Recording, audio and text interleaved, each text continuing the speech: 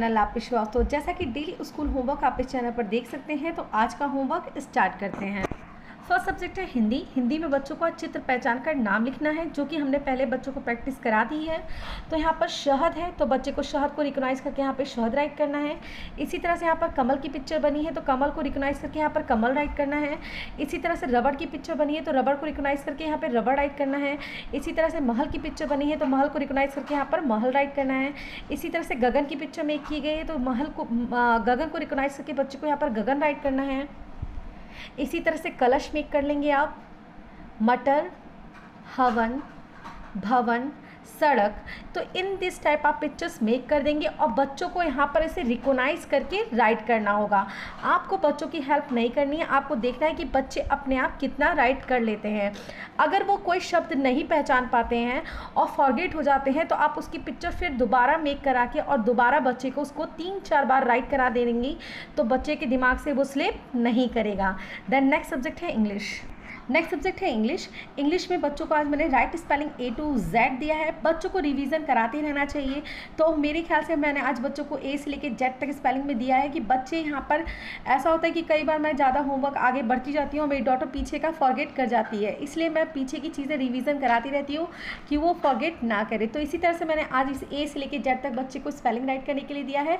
तो आप भी अपने बच्चों को ए से लेकर जेड तक स्पेलिंग राइट करने के लिए दे सकते हैं। अगर वो कोई स्पेलिंग फॉरगेट करते हैं तो उन्हें दोबारा लर्न करा के आप राइट करा सकते हैं। इसी तरह से आप A B C D E F G H I J K L M N O P Q R S T U V W X Y Z इस तरह से ए से लेके जेड तक आपको राइट कर देना है।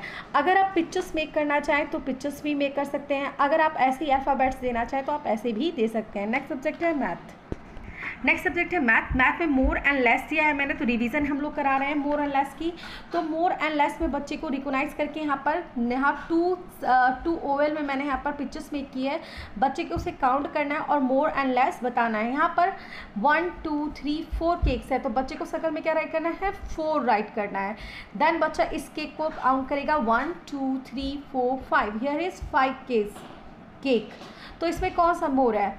जब भी हम कोई चीज़ ऑब्जेक्ट से बता, बच्चों को एक्सप्लेन करते हैं तो बहुत ईजी पड़ जाता है। अगर आप प्रैक्टिकली भी कोई चीज़ रख के चॉकलेट्स ही रख लें, आप अपने पास टू और उसको थ्री दे दें तो आप ये बता सकते हैं कि बेटा कौन सा मोर है और कौन सा लेस है। तो प्रैक्टिकली मैंने कहा, जितना भी प्रैक्टिकली करना चाहे, अगर कोई चीज़ नहीं आती है बच्चों को तो आप उसे प्रैक्टिकली बताने की कोशिश करेंगी तो वो बहुत ईजी हो जाता है उस बच्चे के लिए।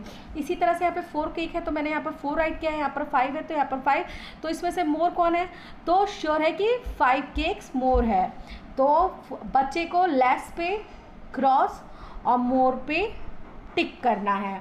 इसी तरह से यहाँ पर टू राइट्स इधर मैंने सर्कल में मेक किया और थ्री राइट्स इधर मेक किया है। तो बच्चे को यहाँ पे काउंट करके टू राइट करना है, यहाँ पर थ्री तो इसमें से मोर कौन सा है? इसमें से थ्री मोर है तो बच्चे को थ्री पर टिक करना है और ब्लैस पर क्रॉस करना है। इसी तरह से ऑरेंज की पिक्चर्स मेक कर लेंगे आप। मैंने यहाँ पर सिक्स ऑरेंज यहाँ पर फाइव ऑरेंज मेक किया है।